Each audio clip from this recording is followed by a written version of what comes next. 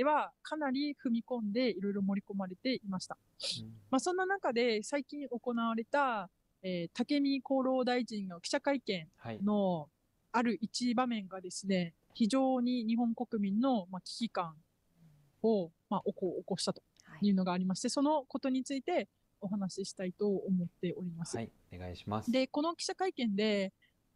えー、竹見大臣がですね、IHR 今回成立したものに関して、えー、私はもう行き過ぎたものだと思っているんですけど、はい、竹見大臣の言葉ではこれは物足りなかったというふうな内容のことを言ってるんです。まだ足りないと、うん。で、そういう話、そうなんです。で、そういう話がありましたので、出席していた記者さんが、まあ、高橋さんという記者さんがですね、切り込んで質問をされました。はい。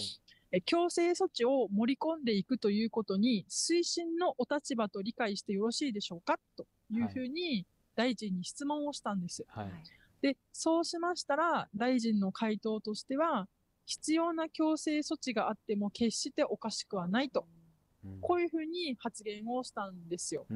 で、具体的な強制措置が何であるかということに関しては言っていないわけなんですけれども、はい、でもここで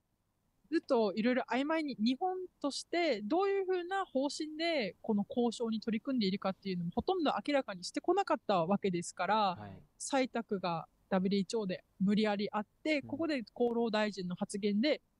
必要な強制措置があっても決しておかしくはないと。